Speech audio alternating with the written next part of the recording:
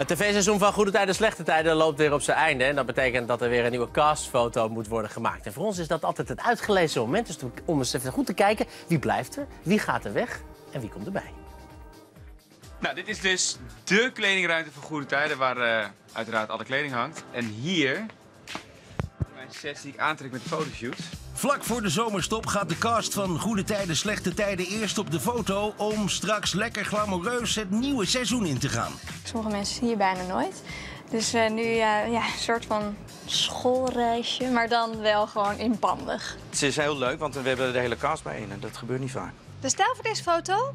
Ik heb geen flauw idee. Ik heb dit gekregen, dus ik, ik denk groen. Voor de groepsfoto die we zo gaan doen, heb ik deze aan. Over mijn uh, overhemdje. En dan eh, ben ik helemaal klaar. Dan kan ik lekker naar beneden. Voor de een is het de eerste keer dat ze bij het jaarlijkse ritueel mogen zijn.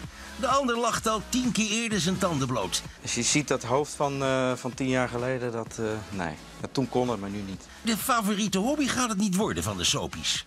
Ja, het is wel gewoon spannend, maar het blijft ook wel spannend. Het is altijd een beetje heel erg raar. Er zijn altijd superveel mensen achter de camera en dan moet jij daar een beetje zo ongemakkelijk je pose gaan doen. Dus volgens mij maakt het niet uit of het de eerste keer is of dat het je tiende keer is. Het is ook maar één keer per jaar, dus het is gewoon ongemakkelijk. Het is een totaal ander vak. Op een foto gaan of uh, scènes spelen in de studio. Alleen al het verschil dat je ineens in de lens moet kijken. Nou, als acteur ben je dat natuurlijk helemaal niet gewend.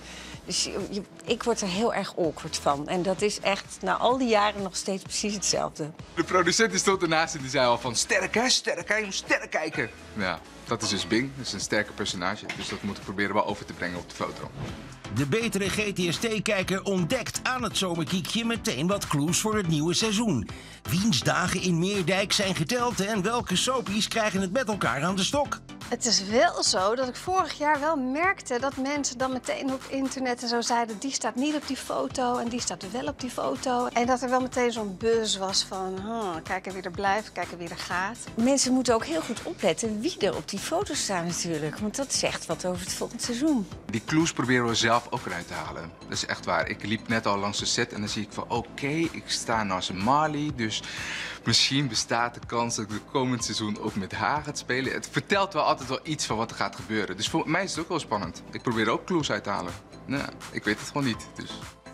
Nou, het rare zit een beetje iets, iets tegenstrijdigs in die foto. Want eh, eigenlijk is het zo, dat kun je echt wel zeggen... dat mensen het ontzettend leuk vinden om één keer per jaar op die foto te gaan. Alleen je bent wel gespannen, sta er goed op. De traditie is een beetje gekomen vanuit de Bold and the Beautiful, Amerika... waar die soaps hier al jaren bestaan. En waar ze gewend zijn om ieder jaar een soort groepsfoto te maken. Dus RTL dacht, nou, we hebben het in Amerika gezien, gaan we ook doen. Inderdaad, ja, in het begin hebben ze fouten gemaakt. Er stond ineens iemand niet op van iedereen dacht, die zit nog in de serie. Dus dan ging het ineens rond van, nou, die is eruit geschreven. Die staat niet op die castfoto. Maar dit doen ze toch al, dit doen ze twintig jaar of zo? Jaar of twintig. En uh, het leuke is dat natuurlijk normaal in Meerdijk ziet alles er wel leuk uit, maar niet ontzettend gesteld. Dus het enige moment in het jaar dat iedereen helemaal opgedoft wordt, make-up gedaan wordt, de haren worden gedaan. Want dit is de foto die half augustus naar alle omroepgidsen verzonden wordt. Zodat als het seizoen aan het eind van augustus weer gaat beginnen... dat in al die omroepbladen deze foto staat. En iedereen denkt, oh ja, GTST gaat weer beginnen. Maar eerst die cliffhanger. We merkten vandaag, en natuurlijk ieder jaar loop je een beetje te vissen... van wat gaat er gebeuren.